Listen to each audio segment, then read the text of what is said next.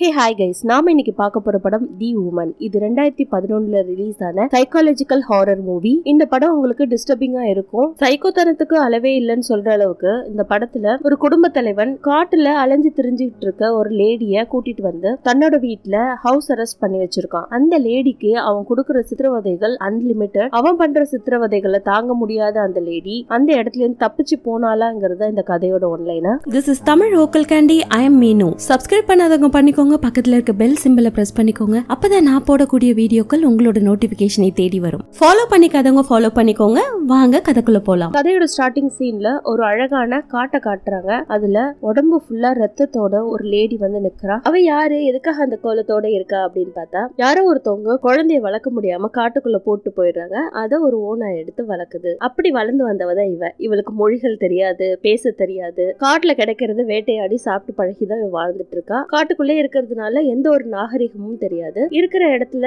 அவ சாப்பிட்டுக்கிட்டு அதே இடத்துல படுத்து தூங்கிக்கிட்டு மிருகங்களோட மிருகங்களா சேர்ந்து வாழ்ந்துட்டு இருக்கா இந்த பக்கம் ஒரு அழகான குடும்பத்தை காட்டுறாங்க. இவதான் நம்ம படத்தோட ஹீரோயின் பெக்கி. இந்த குடும்பத்துக்கு இவ மூத்த பொண்ணு. தான் உண்டு தான் வேலை உண்டுன்னு வாழ்ந்துட்டு வர இவ ஃபேமிலி மேலே ஒரு கண்ணா இருப்பா. எத்தனை பசங்க நெருங்கி பழகினாலும் ஒரு விருப்பமே இல்லாம வாழ்க்கையே வெறுத்த அளவுக்கு ஒரு மாதிரி ஒரு பிரஸ்டேஷனோட வாழ்ந்துட்டு இருப்பா பட் கூல் காம் கேர்ள்னு சொல்லலாம். இவர் தான் குடும்ப தலைவர் மிஸ்டர் கிறிஸ். இவர் ஒரு கோர்ட்ல வேலை செய்யறாரு பட் நல்ல ஒரு பொசிஷன்ல இருக்காரு. ஊருக்குள்ள நல்ல ஒரு பேரு. ஊர்ல இருக்கவங்க எல்லாம் இவர்கிட்ட ஐடியா கேட்பாங்க டெசிஷன் கேட்பாங்க. சில சமயம் உதவி கூட கேட்பாங்க. எல்லார்கிட்டயும் நல்ல பேர் வாங்கி வச்சிருக்காரு. இவங்க எல்லாரும் வீக்கெண்ட் அவுட்டிங் வந்திருக்காங்க. எல்லாரும் என்ஜாய் பண்ணிட்டு இருக்காங்க அந்த சமயத்துல இவர் வேடிக்கை பார்த்துட்டு இருக்காரு அவரோட ஒய்ஃப் வந்து அந்த அம்மா உங்ககிட்ட பேசணுமா? அப்படின்னு சொல்லிட்டு போறாங்க. நீ எல்லாத்தையும் கவனிச்சா உன் சின்ன பொண்ணை கவனிச்சியா? அப்படின்னு சொல்றாரு. அவ பாத்தீங்கன்னா வலுக்கட்டாயமா ஒரு பையனை புடிச்சு இழுத்து முத்தம் கொடுக்க ட்ரை பண்ணிட்டு இருக்கா அதை பார்த்து அவங்க அம்மா கடகடன்னு ஓடி போய் இதெல்லாம் பப்ளிக்ல பண்ணக்கூடாது. அப்படின்னு அவளை தர தரன்னு இழுத்து போயிடுறாங்க. ரொம்ப கியூட் ஸ்மால் கேர்ள் அவளுக்கு எதுவும் தெரியாது இல்லையா? ஒரு வயசான லேடி கிறிஸ் கிட்ட வந்து அப்பா என்னோட வீட்டை விற்கணும் எனக்கு ஒரு சின்ன ரூம் இருந்தா போதும். எல்லா பிரச்சனையும் முடிச்சு கொடு. அப்படின்னு கேட்க கண்டிப்பா முடிச்சு கொடுக்குறேன்னு ஒரு நல்ல பேர் வாங்குறாரு. அந்த பார்ட்டியை முடிச்சுட்டு எல்லாரும் வீட்டுக்கு போறாங்க வீட்டுக்கு போனா ஒரு நாயோட சத்தம் கேட்டுட்டே இருக்கு. நாய்கள் சத்தம் கேட்டுட்டு இருக்குன்னு சொல்லலாம். ஏன்னா ஒரு நாய் சத்தம் இல்ல பல நாய்களோட சத்தம் கேக்குது அப்படின்ற மாதிரி இருக்கு. பட் நாயை எங்க கட்டி போட்டிருக்காங்கன்னே தெரியல. ஏன் இப்படி குலைச்சிட்டே இருக்குன்னே தெரியல. ஒரு வீட்டை அமானுஷமா காட்டுறாங்க. அந்த வீடு இவங்க வீட்டை விட தள்ளி இருக்க மாதிரி இருக்கு. ஒரு குடோன் மாதிரி இருக்கு. அடுத்த சீன்ல கிறிஸ் வேட்டையாட கிளம்புறாரு. அங்க இருக்க ஃபாரஸ்ட்டுக்கு போயிட்டு ஏதாவது வேட்டையாடுறது இவரோட பழக்கம். சோ ஒரு சின்ன வண்டி எடுத்துக்கிட்டு அவர் கிளம்புறாரு. அங்க போய் பார்த்தா கன்ல கேமரா இருக்கும் இல்லைங்களா? கூப் அதை வச்சு பாக்குறாரு இந்த உமன்னு சொல்ற அந்த காட்டுவாசி பொண்ணு அந்த காட்டுல குளிச்சிட்டு இருக்கா. அதை பார்த்து அவரு டக்குன்னு என்ன முடிவு பண்ணாருன்னே தெரியல. வீட்டுக்கு கிளம்பி வந்துடுறாரு. வீட்டுக்கு கிளம்பி வந்தவரை அவன் பையன் கேக்குறான். அவனுக்கு பேஸ்கெட் பால்னா ரொம்ப உயிர் போல இருக்கு. அதை விளையாண்டுட்டு இருக்கான். சோ அவரை பார்த்துட்டு என்னப்பா என்ன வந்து பிராக்டிஸ் பண்ண? அப்படின்லாம் கேட்டு கேட்டு விசாரிச்சுட்டு அப்பா நீங்க ஏதாவது புடிச்சிட்டு வந்தீங்களா அப்படின்னு கேக்குறான் நான் புடிச்சிட்டு வந்த மாதிரியா இருக்கு? என் வண்டியில ஏதாவது இருக்கா? அப்படின்னு கேட்கறாரு இதுல இருந்து என்ன தெரியுதுன்னா சோ இவரு வேட்டையாட போறது ஏதாவது ஒரு விலங்கு கொண்டுட்டு வர்றது அது மாதிரி இருக்கும் போல இருக்கு. டக்குன்னு வீட்டுக்கு வராரு. எல்லாரையும் கூப்பிடுறாரு. நம்ம இன்னைக்கு ஒண்ணு பண்ண போறோம் அப்படின்னு சொல்லிட்டு அங்க ஒரு பாதாளத்துல ஒரு வீடு மாதிரி வச்சிருக்காரு. தேவையில்லாத பொருட்கள்லாம் போட்டு டம்ப் பண்ணி வச்சிருப்பாங்க இல்லையா? ஒரு பேஸ்மெண்ட் அந்த இடத்துக்கு கூட்டிட்டு போயிட்டு அதை பார்த்தா பாழடைஞ்சு போய் கிடக்கு. அந்த குட்டி பாப்பாவும் நானும் வரேன்னு சொல்லிட்டு கூட வருது. மொத்தம் நாலு பேரும் அந்த இடத்த போய் பாக்குறாங்க. ஃபுல்லா ஒட்டடை படிஞ்சு பழைய பொருட்கள்லாம் அந்த இடத்துல கிடக்கு. இதெல்லாம் நம்ம இப்ப க்ளீன் பண்ண போறோம். தேவையில்லாத எடுத்து எரிக்கிறதுக்கு ஒரு டப்பா இருக்கும் இல்லையா? அதுக்குள்ள போட்டுருங்க. மத்ததெல்லாம் அந்த ரூமுக்கு மாத்திருங்க அப்படின்ற மாதிரி சொல்றாரு. இப்போவா பண்ண போறோம்? இப்ப டின்னர் சாப்பிட்ற டைம் ஆச்சு அப்படின்னு பெகி கேட்க ஏன் இதெல்லாம் பண்றோம்? அப்படின்னும் கேக்குறா. நான் அவங்க அப்பா சொல்றேன் செய்ய மாட்டியா? நானும் ஆ செய்யலாம் அப்படின்னு சொல்லிட்டு இவன் என்ன பண்றா? கிளவுஸ் எடுத்துட்டு வரேன் அப்புறம் அந்த நாய்களுக்கு சாப்பாடு வச்சுட்டு வரேன்ட்டு பெகி போயிடுறா. இவர் என்ன பண்றாரு? இந்த வீடெல்லாம் க்ளீன் பண்ணி தொடச்சு வச்சு வச்சிருங்க அப்படின்னு சொல்லவும் ஒய்ஃப் சொல்றாங்க இல்ல எதுக்காக இது பண்றீங்க? அப்படின்னு ஒரு ஒரு பயந்த தோணிலே அவங்க கேக்குறாங்க. என்ன பண்ண போறேன்னு நீ பாரு. உனக்கு இல்லாத பயங்கர சர்ப்ரைஸ் கொடுக்குற அப்படின்னு பயங்கர எந்துவா சொல்றாரு. அடுத்த சீன்ல வீட்டுக்குள்ள காட்டுறாங்க. அவங்க அம்மா படி இறங்கி வந்துட்டு இருக்காங்க. டக்குன்னு லைட்டை போடுறாங்க. தூக்கி வாரி போடுது. ஹால்ல உட்காந்துட்டு இருக்கிறது பெகி. என்ன பயமுத்திட்டியே லைட் போடாமையா உட்காந்துருக்கணும்னா இல்ல டேடி என்ன பண்றாங்கன்னு நான் பாத்துட்டு இருக்கேன். அதாவது லைட் ஆஃப் பண்ணிட்டு இவங்க பாக்குறதே தெரியாம பாத்துட்டு இருக்காங்க. ஒளிஞ்சு பாத்துட்டு இருக்காங்க. அவர் என்ன பண்றாரு? நாளைக்கு ஸ்கூலுக்கு போகணும் நீ போய் தூங்கு. நான் என்ன நடக்குதுன்னு பாக்குறேன் அப்படின்ட்டு அதே மாதிரி லைட் ஆஃப் பண்ணிட்டு இருட்டுல உட்காந்து அந்த அம்மா வாட்ச் பண்ணுது. இதுல இருந்து என்ன தெரியுதுன்னா இதுல ஆன் ஆதிக்கம் அதிகமாக இருக்குது அந்த ஃபேமிலியில் இருக்க லேடிஸ்க்கு யாருக்கும் மரியாதையும் கிடையாது ஒரு மதிப்பும் கிடையாது ஒரு அடிமை மாதிரி வாழ்ந்துட்டு வராங்க. ஸோ என்ன ஆகுதுன்னா இவர் வேட்டைக்கு போறாரு. அந்த லேடியை ஒரு ந- வலைய போட்டு பிடிச்சி வீட்டுக்கு கொண்டு வந்துடுறாரு. அந்த ரெடி பண்ண அந்த பேஸ்மெண்ட் ரூம்ல அந்த லேடியை சங்கிலி போட்டு ரெண்டு கைகளையும் கட்டி தூக்கி கட்டி வச்சிடுறாரு. கட்டி வச்சுக்கிற சும்மா இருப்பானா? அந்த பொண்ணோட கண் எப்படி இருக்கு? அந்த பொண்ணு வாய் எப்படி இருக்குன்னு வாயை செக் பண்ணிட்டு இருக்கான். அவ மயக்கத்திலேருந்து எழுந்தவ அப்படியே மோதிர வரல முருங்கக்காய் கடிக்கிற மாதிரி கடிச்சு அப்படியே மோதிரத்தை மட்டும் துப்பிட்டு அப்படியே முழுங்குறான் இந்த கிறிஸ் சரியான சைக்கோவா இருப்போம் போல இருக்கு. காட்டுல இருக்க புடிச்சிட்டு வந்து கட்டி போட்டிருக்கான். அது மட்டும் இல்லாம அவ வாய் எப்படி இருக்கு அவ பல் எப்படி இருக்குன்னு பார்க்கவும் அவ கடிச்சோன்னா அந்த வழியை கூட பொருட்படுத்தாம உனக்கு ஒரு நாகரிகமே இல்லையே அப்படின்னு சொல்லிட்டு கதவு மூடிட்டு வீட்டுக்கு போயிட்டு கைக்கு நல்ல ட்ரெஸ்ஸிங் எல்லாம் பண்ணிட்டு மாத்திரை எல்லாம் போட்டுக்கிட்டு திரும்ப அந்த ரூமுக்கு வரான். உனக்கு சாப்பிடுறது மனுஷங்களை சாப்பிடுறது ரொம்ப பிடிக்கும் போல இருக்கே அப்படின்னு சொல்லிட்டு அது கூட பேசிட்டு இருக்கான். இதெல்லாம் ஒளிஞ்சிருந்து அம்மாவும் பொண்ணும் பார்த்துட்டு தான் இருக்காங்க. அடுத்த சீன்ல ஸ்கூல்ல காட்டுறாங்க. பெகி ரொம்ப படிப்புல வீக் ஏன்னா ஃபேமிலியில இது மாதிரி ஒரு விஷயம் நடந்துட்டு இருக்கும்போது அவளால நிம்மதியா சந்தோஷமா எப்படி இருக்க முடியும்? மத்த பசங்களை விட்டு ரிசர்வாவே இருக்கா? மிஸ் வந்து ட்ரையாங்கிள் பத்தி கொஸ்டின் எல்லாம் கேக்குறாங்க பட் அவளுக்கு ஒண்ணுமே தெரியல. அவன் நான் ரெஸ்ட் ரூம் போறேன்ட்டு ஓடி போயிடுறா. வந்து பார்த்தா கிளாஸே முடிஞ்சிருது. அவ புக்ஸ் எல்லாம் எடுக்க வரும்போது மிஸ் சொல்றாங்க என்ன டிராயிங் எல்லாம் பண்ணி வச்சிருக்கேன் நானு இல்ல மிஸ் என்னோட புக்ஸ் எல்லாம் எடுத்துட்டு போக தான் வந்தேன்னு சொல்லிட்டு சாரின்னு கேட்டு அந்த இடத்துல எக்ஸ்கியூஸ் கேட்டு ஓடி போயிடுறா. ஸோ இப்படிதான் அவளோட லைஃப் ஸ்டைல் போயிட்டு இருக்கு. அவங்க வீட்டுல ஒரு பையன் இருக்கான் பெகியோட தம்பி. இவன் பேரு பிரெயின் இவன் பாத்தீங்கன்னா அவங்க அப்பா இல்ல பாதி இருப்பாங்க. அவர் பாதி சைக்கோனா இவன் முழு சைக்கோ மாதிரியே இருப்பான். ஸ்கூல் கிரவுண்ட்ல பேஸ்கெட் பால் போட்டு ட்ரெயின் பண்ணிட்டு இருப்பாங்க. அதுல ஒரு பொண்ணு நல்லா போடுவா. பால் போடுறத பார்த்து இவனுக்கு பொறாம வந்துருங்க. டக்குன்னு என்ன பண்ணுவான் ஒரு பபிள் கம்ம சாப்பிட்டுட்டு அவளோட சீப்ல ஒட்டி வச்சிடறான் அவ வந்தவ தலைய வாரிட்டு இருக்கா டக்குன்னு ஒட்டிடுது. என்னமோ பபிள் கம் ஒட்டி இருக்கேன் நான் ஹெல்ப் பண்றேன் அப்படின்னு ஓடி வந்து ஹெல்ப் பண்ண வரான் எடுக்கிறேன்ற பேர்ல அவ முடிய பிடிச்சி இழுத்து இழுத்து மொத்த முடியும் அப்படியே சீப்போட வந்துருது அதை பார்த்து ரசிச்சுட்டு போறான் காலங்க எப்படி கெட்டு போய் கிடக்கு பாருங்க. அப்பட மாதிரியே புள்ள. சின்ன வயசுல ஹாரஸ்மெண்ட் பண்றது சைக்கோத்தனமா நடந்துக்கிறது இப்படியாப்பட்ட கேரக்டர் இந்த பிரெயின் இந்த பக்கம் காட்டுறாங்க. இவன் லேடி கிட்ட கிறிஸ் வந்து நெருங்கி போறான். அவ மிருகம் மாதிரி அப்படி கிட்டக்க வருவா பாருங்க. தூக்கி வாரி போட்டு பின்னாடி போய் திரும்ப அவளை ரைஸ் பண்ணிட்டு இங்க பாரு என் குழந்தைங்க என் குடும்பத்தெல்லாம் கூட்டிட்டு வந்து உனக்கு இன்ட்ரடியூஸ் பண்ணி வைக்க போறேன். பட் நீ இப்படி டிஸ் ஒபீடியண்டா இருந்தீன்னா உனக்கு என்ன பனிஷ்மெண்ட் கிடைக்குங்கிறத நான் செஞ்சு காட்டுறேன்ட்டு ஒரு இவ நிக்கிறா இல்லைங்களா? அவளுக்கு பின்னாடி ஒரு கட்டை எடுத்து வச்சு அவ காது கிட்ட சுடுறான் சோ அந்த சவுண்ட் எப்படி கேட்கும் அவளுக்கு? அதை ஃபீல் பண்ண முடியாம அப்படியே ரொம்ப துடிக்கிறா. இதுதான் உனக்கு பனிஷ்மெண்ட் சோ என்னோட ஃபேமிலியை கூட்டிட்டு வர போறேன். ஒழுங்கா நடந்துக்கணும். இல்லனா கன்னால சுட்டுருவேன் அப்படின்ற மாதிரி த்ரெட்டன் பண்ணிட்டு கிளம்புறான். அத ஒரு லுக்கு விடுவா பாருங்க இவ. வீட்டுக்கு வந்தவன் என்ன ஒரு பாட்டு பாடுது? சூப்பரா இருக்கே அப்படின்னு கேக்குறான். இது கொரிய நாட்டு பாட்டு அப்படின்னு குட்டி பாப்பா சொல்ல ரொம்ப அமேசிங்கா இருக்கு. நாங்க இருக்கிறதெல்லாம் சாப்பிட்டுட்டு வாங்க. எல்லாரும் போய் ஒரு அமேசிங்கான ஒரு விஷயத்த காட்டுறேன் அப்படின்னு சொல்லிட்டு அந்த பேஸ்மெண்ட் கூட்டு வந்து காட்டுறான். யாருப்பா இது? அப்படின்னு பெகி கேக்குறான். காட்டுக்குள்ள சுத்திட்டு இருந்தம்மா. இவளுக்கு சாப்பிடறதுக்கு ஒண்ணு இல்ல. ரொம்ப கஷ்டப்படுறா. பாரு துணி கூட நல்லா இல்ல. நம்ம இவளுக்கு ஹெல்ப் பண்ண போறோம். கொஞ்சம் எஜுகேட் பண்ண போறோம். இவள மாடர்னா மாத்த போறோம்.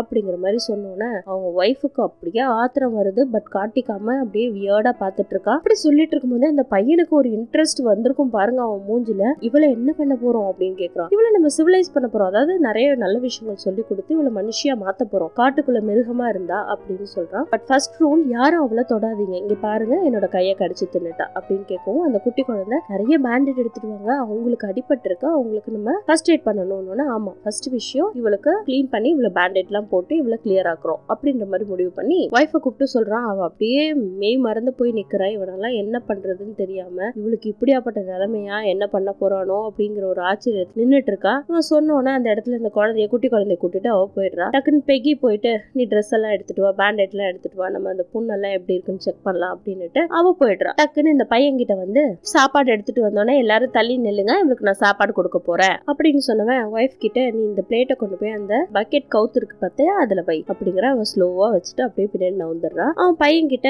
புல்லெல்லாம் க்ளீன் பண்ணுவோம் இல்லையா? அந்த ஒரு பல்லு பல்லா இருக்கும் இல்லைங்களா? அதை வச்சு தள்ளி விட சொல்றான். சோ கீழே சிந்தாம தள்ளி விட. அது சாப்பாடு. அவ அதை சாப்பிடணும் அப்படின்ற மாதிரி சொல்றான். டக்குன்னு அவள் பக்கத்துல தள்ளி வச்சோன்னே இவன் சைகை காட்டுறான் சாப்பிடு அப்படின்ட்டு. அவளுக்கு ஒரு வெறி பிடிக்குது பாருங்க. டக்குன்னு வாயாலே அதை தள்ளி விட்டுறான் ஸோ அவளுக்கு சாப்பாடு வேணா இங்க இருக்க பிடிக்கல. இதை நம்ம யார்கிட்டயும் சொல்ல போறது கிடையாது. இது ஒரு சீக்ரெட் ப்ராஜெக்ட் மாதிரி. இவளை நம்ம கூட்டிட்டு வந்து இங்க அடைச்சி வச்சிருக்கிறதோ இல்ல எந்த விஷயமும் வெளியில தெரியக்கூடாது. இவ ஒரு அனிமல் நினைச்சிட்டு காட்டுக்குள்ள வாழ்ந்துட்டு இருக்கா இவ ஒரு ஹியூமன் பீங் தானே நம்ம அப்படி விடலாமா? இவளுக்கு ஒரு சேஃப்டியை கொடுக்கணும் நல்ல ஒரு விஷயத்தெல்லாம் கத்து கொடுக்க போறோம். எல்லாருமே இதுல ஒன்னா சேர்ந்து இதுல செயல்பட போறோம் அப்படிங்கிற மாதிரி சொல்றாரு. பாவம் அந்த குடும்பத்துல இருக்கவங்க என்ன பண்றதுன்னே தெரியாம முடிச்சுட்டு சரின்றாங்க. பட் அவன் பையனுக்கு பயங்கர இன்ட்ரெஸ்ட் இதுல. நம்ம எப்படி நாய் எல்லாம் பாத்துக்கிறோம்? ஒருத்தர் போய் சாப்பாடு வைக்கிறோம் ஒருத்தர் போய் கிளீன் பண்றோம். இப்படி ஒரு ஒருத்தரா ஷேர் பண்ணி வேலையை செய்யறதுல அதே மாதிரி இந்த லேடியை நம்ம பாதுகாக்க போறோம். சோ அவளுக்கு பசியில போல இருக்கு. சாப்பாடை தள்ளி விட்டா நமக்கெல்லாம் பசிக்கும். உள்ள வாங்க போய் சாப்பிடலாம். அப்படின்னு எல்லாரும் வீட்டுக்கு கூட்டு போய் டின்னர் சாப்பிடுறான் அந்த உப்பு கொஞ்சம் எடை அப்படின்னு ஒய்ஃப் கிட்ட சொல்றான். பட் அவளால எடுக்க கூட முடியல.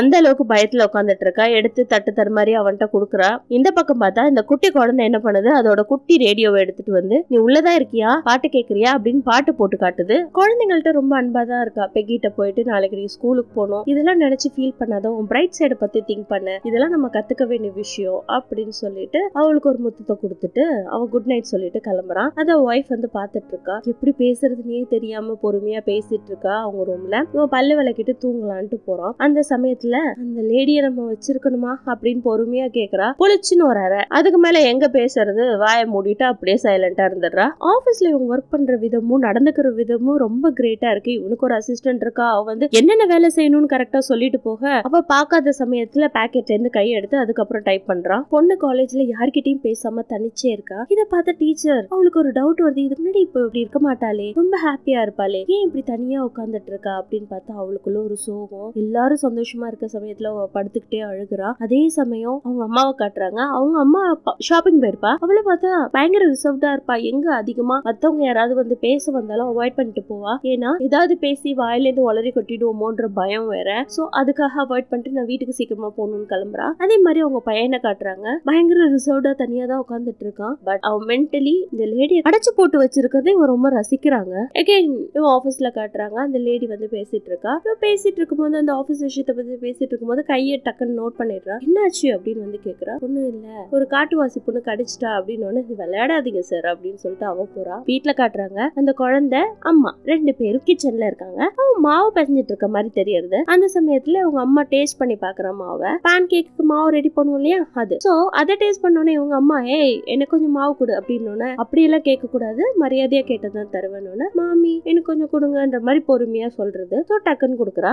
ஓவரால் இவங்க ஃபேமிலியில இந்த மூணு லேடிஸும் நல்லவங்களா இருக்காங்க. அந்த ரெண்டு பேரும் பயங்கர சைக்கோவா இருக்காங்க. இந்த பையன் ஸ்கூல்ல இருந்து வந்தவன் அந்த பாதாளத்துக்குள்ள அந்த லேடி என்ன பண்றான்னு எட்டி பார்த்துட்டு இருக்கான் அதை பார்த்து அவங்க அம்மா அவங்க அப்பா கிட்ட சொல்லணுமா? ஒழுங்கு மரியாதை நடந்துக்கோன்னு சொல்லிட்டு போயிடுறா. அந்த குழந்தை வந்து அவங்க அம்மா செஞ்ச பிஸ்கெட்டை கொடுக்குது. இந்த பக்கம் பெரிய பொண்ணு அப்பா ஸ்கூல்ல இருந்து பிக்கப் பண்ணிட்டு வர்றாரு. பட் அவ பாக்குறதுக்கே ஒரு டீனேஜ் கேர்ள் மாதிரியே இல்லைங்க. வயசானவ மாதிரி மூடி குறுகி அந்த கார்ல ஏறி வந்து உட்காருவா பாருங்க. அவ்வளவு கஷ்டமா இருக்கும். வீட்டுக்கு வந்தோடனே ஏன் சாப்பாடு வைக்கல பெகி? டாகுக்குன்னு கேக்குறாரு. இது பிரயானோட டேர்னு அப்படின்னு சொல்லிடுறான் அவன் சாப்பாடு வைக்க போறவன் நாய்கிட்டலாம் ரொம்ப கோபமா நடந்துக்கிறான். ஏன்னா தானோன்னு அந்த இடம் இருக்குது. சுத்தமே பண்ணாம அதுல சாப்பாடெல்லாம் வச்சுட்டு கண்டதுல கையை வச்சுட்டு கையை வந்து கழுவுறதுக்கு வரான். இவன் இவ ஸ்கூல்ல என்ன நடந்துச்சோ அதை நினைச்சு பார்த்துட்டு பெகி உட்காந்துருக்கா ஸ்கூல்ல மிஸ் அவளை கூப்பிட்டு பேசியிருப்பாங்க. என்னாச்சு பெகி? ரொம்ப சோகமா இருக்க. எனி டைம் பழைய பேக்கியை போட்டு வர. ஒரு மாடர்னா ட்ரெஸ் பண்ண மாட்டேங்கிற. ரிசர்வ்டா பண்ணோன்னு இது உங்களுக்கு தேவையில்லாத விஷயம் மிஸ் அப்படிங்கிறா? இல்ல எனக்கு இதுதான் என்னோட வேலையே அப்படின்னுட்டு அவளுக்கு ஆறுதல்லாம் சொல்றா. இந்த பக்கம் இந்த கிறுக்கு பிடிச்ச கிளக்கு என்ன பண்றா? அவளை குளிக்க வைக்கிறேன்ட்டு இவள ரெண்டு பக்கெட் தண்ணி போட வச்சு அது தொடச்சி விடுறேன் அப்படின்ட்டு அந்த லேடிக்கு உடம்பெல்லாம் கிளீன் பண்ணி விடுறேன்னு சொல்லிட்டு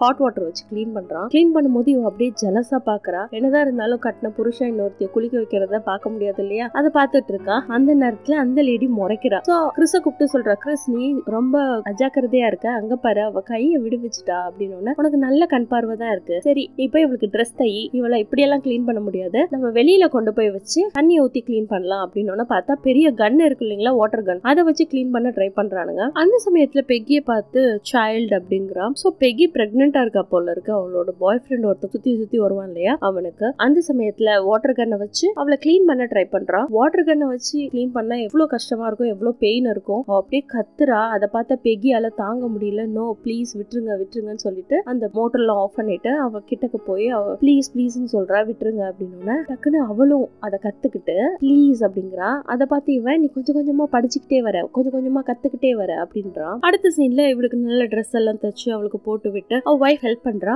எல்லாத்தையும் போட்டு விட்டு அவளுக்கு சாப்பாடுலாம் ஃபீட் பண்றா. கொஞ்சம் கேரா தான் பாத்துக்கிற மாதிரி இருக்கு. பொண்ணுக்கெல்லாம் மருந்து போட்டு விடுறாங்க. இந்த பக்கம் ஸ்கூல்ல டிஸ்கஷன் பண்றா மிஸ் அவளோட ஃப்ரெண்டு கிட்ட. மாதிரி பெகி பிரெக்னெண்டா இருக்காலாம் அவளோட அட்ரஸ் இது. பேரண்ட்ஸ் கிட்ட போய் உங்க பேரண்ட்ஸ் கிட்ட போய் இது சொல்லலாமா? இல்லை என்ன பண்றதுன்னு யோசிச்சுட்டு இருக்கேன் அப்படின்ற மாதிரி அவ திங்க் பண்ணிட்டு இருக்கா அந்த சைடு அடுத்த சீன்ல கிறிஸ் சும்மா இல்லாம அந்த பொண்ணை அப்யூஸும் பண்றான். இந்த விஷயத்த அவன் பையன் பிரேனும் பார்த்துடுறான் ஒய்ஃபுக்கும் இந்த விஷயம் தெரிஞ்சு என்ன பண்றதுனே தெரியாமல் அவ ஃபீல் பண்ணுறான் மறுநாள் விடுஞ்சோன்னா பெக்கியை ஸ்கூலுக்கு போலையான்னு கேட்குறாங்க இல்லை எனக்கு உடம்பு சரியில்லை நான் இங்கேயே இருக்கேமா அப்படின்னு சொல்லிட்டு அவ ரெஸ்ட் எடுக்கிறா. இந்த பக்கம் காட்டுறாங்க. கிறிஸ் கிளம்பி வேலைக்கு போகிறான் அவங்க பையன் ஸ்கூலுக்கு போறான். ஃப்ரீ டைம்ல விளையாடுற வேலையை மட்டும் பார்த்துக்கோ வேற எதுவும் பண்ணாத அப்படின்ற மாதிரி சொல்கிறாரு ஸ்கூலில் மிஸ் பெகி ஸ்கூலுக்கு வராத நோட் பண்ணிட்டு என்னாச்சோ ஏதாச்சும்னு திங்க் பண்றா. ஸ்கூல் விட்டோன்னே ஃப்ரெண்ட்ஸ் கிட்ட எல்லாம் எனக்கு ஒரு வேலை இருக்கு அப்படின்னு சொல்லிட்டு வீட்டுக்கு படபடன்னு கிளம்பி வரான். நேரா அந்த லேடி கிட்ட போயிட்டு பிஸ்கெட்டை கொடுக்குறான். அவ சாப்பிட மாட்டேன் அப்படின்னு சொன்னோன்னே அங்க ஒரு கட்டர் இருக்கும் இல்லைங்களா அதை எடுக்கிறான். அதோட அந்த சீன் கட் ஆகுது. இந்த பக்கம் பார்த்தா பெகி உட்காந்துட்டு இருக்கா வீட்டுல அவ தான் லீவ் போட்டிருக்கா இல்லைங்களா. பயங்கரமா கத்துற சத்தம் கேக்குது. என்ன சத்தம்னு சொல்லிட்டு இவ கடகடன்னு ஓடி போய் பாக்குறா. என்ன நடந்துச்சுன்னு இந்த லேடியோட ட்ரெஸ் எல்லாம் கலைஞ்சு கிடக்குது. உடம்புல இருந்து பல குத்து ரத்தம் அது மாதிரி ஒழுகிட்டு இருக்கு. சோ இந்த பையன் அந்த லேடிய ஹாரஸ்மெண்ட் பண்ணிருக்கான் இதை பார்த்துட்டு தலையிலேயே ரெண்டு போட்டு அம்மா கிட்ட கூட்டிட்டு வந்து சொல்லிடுறா. அப்பா என்ன செய்யறாரோ அதை பார்த்து இந்த பையன் வளர்றதுனால ரொம்ப கெட்டு போயிருக்கான். இந்த விஷயத்த அவங்க அப்பா வந்தோன்னு சொல்றான் ஆம்பளை பசங்க அப்படிதான் இருப்பாங்க. அவங்கள கண்டிக்கலாம் முடியாது. அப்படின்னு சொல்லிடுறாரு அவங்க அப்பா. இதை கேட்டோன்னே இதுக்கு மேல நான் அவங்க கூட வாழ்றதுல அர்த்தமே இல்ல. நான் கிளம்புறேன். அப்படின்னு சொன்னோன்னே அம்மா அடி அவங்க அம்மாவுக்கு பொல பொலன்னு பிறக்கிறான் கிறிஸ். இது அத்தனையும் அந்த குழந்தைகள் முன்னாடியே நடக்குது. அம்மா மயங்கி அதே இடத்துல விழுந்துடுறா. பெக் போய் பொறுமையா பாக்குறான். அவெல்லாம் நல்லாதான் இருக்கா? போய் ஒரு துணி ஈர துணி எடுத்துட்டு வந்து அவளுக்கு போடு. அப்படிங்கிறான். பயந்துகிட்டே துணி எடுக்க போறா. டக்குன்னு கதவு தட்டுற சத்தம் கேட்ட உடனே பெக்கி வந்து கதவு திறக்கிறா. அவங்களோட டீச்சர் வீட்டுக்கே வந்துட்டாங்க. உள்ள கூப்பிட மாட்டியா? மிஸ் கேட்க அதுக்குள்ள இந்த பக்கம் பெகி மிஸ் இது சரியான டைம் இல்ல. நீங்க போங்க. நம்ம பாத்துக்கலாம்னு. நீ எதுக்கும் கவலைப்படாத. நம்ம டாக்டர்ஸ் எல்லாம் பார்க்கலாம் நம்ம எல்லாத்தையும் கிளியர் பண்ணலாம் அப்படின்ற மாதிரி மிஸ் சொல்லிட்டே இருக்காங்க. இல்ல இந்த நேரத்துல இது வேண்டாம். அப்படின்னு சொல்லிட்டு இருக்கும் போதே அவங்க அப்பா வந்துடுறாரு. அவங்க அப்பா அவங்க அம்மாவை தூக்கி சேர்ல உட்கார வச்சிடறான் ஒண்ணுமே ஆகாத மாதிரி. யார் வந்திருக்காங்க மிஸ்ஸா ஏன் வெளில நின்று பேசுறீங்க? உள்ள வாங்க மிஸ் அப்படின்னு இன்வைட் பண்றான். மிஸ்டர் கிளீக் உங்ககிட்டயும் உங்க ஒய்ஃப் கிட்டே தனியா பேச முடியுமா?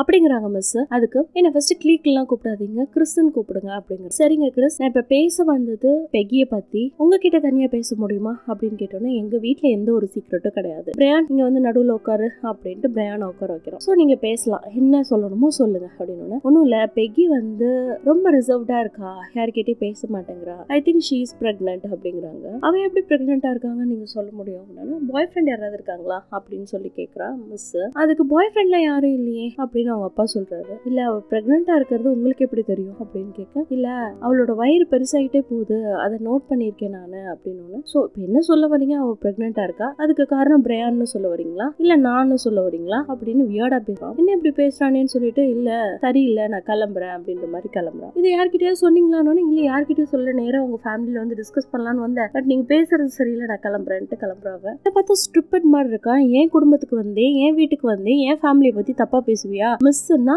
லெசன் மட்டும் தான் எடுக்கணும். அடுத்தவங்க குடும்பத்துல என்ன நடக்குதுன்னு இன்டர்ஃபியர் ஆகக்கூடாதுன்னு பொலிர் பொலிர்னு ரெண்டு விட்டு அவளையும் கட்டி போட்டு வேற அந்த நாய்கள்லாம் இருக்கும் இல்லைங்களா அந்த இடத்துல கொண்டு போய் போட்டுறாங்க எவ்வளவோ கெஞ்சிரா மிஸ்ஸை விட்டுருங்க மிஸ்ஸை விட்டுருங்கன்னு கெஞ்சிரா பா விட்டுருங்க. அவ எங்க மிஸ் கூட கிடையாது. எனக்கு நல்ல ஃப்ரெண்ட் அவங்க. விட்டுருங்க விட்டுருங்கன்னு அவ எவ்வளவு கெஞ்சி பாக்குறா. நேரா கொண்டு போய் அந்த நாய்கள்லாம் இருக்கும் இல்லைங்களா அந்த இடத்துல போட்டு அவளை சித்திரவதைப்படுத்துறான் அதுக்கு பொண்ணுகிட்டயும் கொச்ச கொச்சையா பேசுறான் அடிச்சு போடுறதுக்கு முன்னாடி அந்த டீச்சரை வெளியில கட்டி போட்டிருப்பான். அந்த இடத்துல அவ பொண்ணு வந்து கேட்க வரா. அந்த இடத்துல அந்த பொண்ணை ரொம்ப மோசமா பேசிடுறான் தகாத வார்த்தையால அவளை திட்டி கீழே தள்ளி விட்டுறான் தெரியாதுன்னு நினைச்சிட்டு இருக்கேன். என்ன பண்ணிட்டு இருக்கேன்ட்டு எனக்கு எல்லாமே தெரியும். எக்ஸ்பிளைன் பண்ண முடியாத வார்த்தைகள்லாம் பேசுறான் இது அவள் அந்த ரூம்ல இருந்து பாத்துட்டு இருக்கா. அந்த உமன் இருக்கா இல்லைங்களா? அவளுக்கு அது எல்லாமே உணர முடியுது. இந்த பையனும் இவங்க அப்பாவும் நாய்கள்லாம் இருக்க ரூம்ல கொண்டு வந்து அவுத்து அவளை போடுறாங்க. இந்த கேப்ல பெகி போயிட்டு அந்த லேடி உமன் இருக்கா இல்லைங்களா? அவளை அவுத்து விட்டுறா. டீச்சருக்கு நடக்க கொடுமையே இவங்க ரெண்டு பேரும் வேடிக்கை பாக்குறாங்க அப்பனும் பையனும் வீட்டில் இந்த பக்கம் காட்டுறாங்க. அந்த குட்டி பொண்ணு ஓடி வந்து எதுக்கு டாகி எல்லாம் இப்படி கத்துது? அப்படின்னு கேட்க அவங்க அம்மாவுக்கு சுய நினைவு திரும்புது.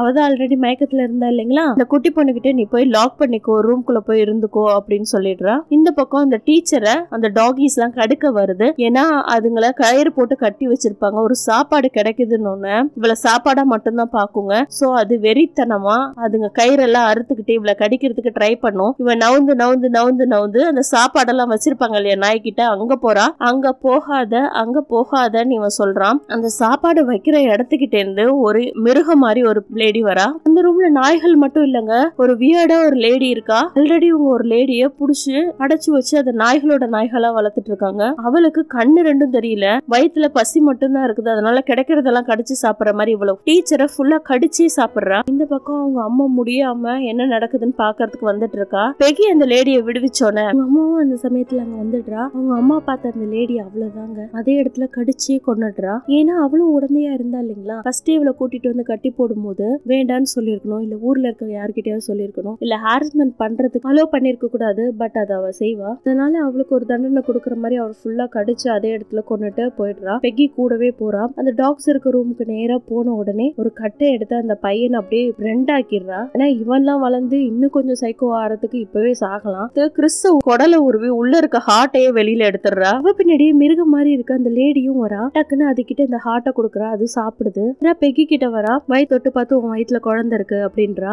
சோ பெகி பிரெக்னெண்டா இருக்க காரணம் அவங்க அப்பா தான். குட்டி பாப்பா கிட்ட அவ கையில ஒட்டி இருக்க பிளட் எடுத்து கொடுக்குறா. அந்த பிளட்ட அந்த குழந்தை நக்கி நக்கி சாப்பிடுது. பெகி கிட்ட கொடுக்குறா. பெகி சாப்பிட மாட்டேங்கிறா. டக்குன்னு அந்த குழந்தைய கூட்டிட்டு அது போகுது. பெகியும் அவளை ஃபாலோ பண்ணி நாட்டுல இருக்கிறத விட காட்டிலே போய் வாழலாம்னு முடிவு பண்ணி போயிடுறா. இதோட இந்த படம் முடியுதுங்க. இந்த கதையில இருந்து என்ன சொல்ற வராங்கன்னா பெண்களுக்கு வயலன்ஸ்னு ஒரு இடத்துல நடக்குதுன்னா ஃபர்ஸ்ட் விஷயம் எல்லாருக்கும் தெரியணும். இல்லைன்னா அதை தடுக்க பார்க்கணும். இந்த படம் என்ன ரொம்ப டிஸ்டர்ப் பண்ணிருச்சு. உங்களுக்கு எப்படி இருந்துச்சுன்னு எனக்கு கமெண்ட்ல சொல்லுங்க. ப்ளீஸ் சப்ஸ்கிரைப் பண்ணிக்கோங்க. உங்களோட ஒவ்வொரு சப்ஸ்கிரைப் தான் எனக்கு மோட்டிவேஷன் கொடுக்கும். This is Tamil vocal candy I am Meenu subscribe பண்ணாதவங்க பண்ணிக்கோங்க. பக்கத்துல இருக்க பெல் சிம்பிளை பிரஸ் பண்ணிக்கோங்க. அப்பதான் நான் போடக்கூடிய வீடியோக்கள் உங்களோட நோட்டிபிகேஷனை தேடி வரும். ஃபாலோ பண்ணிக்காதவங்க ஃபாலோ பண்ணிக்கோங்க.